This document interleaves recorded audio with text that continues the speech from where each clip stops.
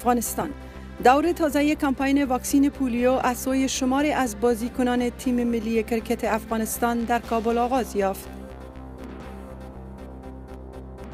ایالات متحده امریکا و متحدان روی معافیت تحریم تسلیحاتی اعمال شده بر لیبیا و منظور مبارزه با گروه داعش و سایر گروه های افراطی فشار می آورد.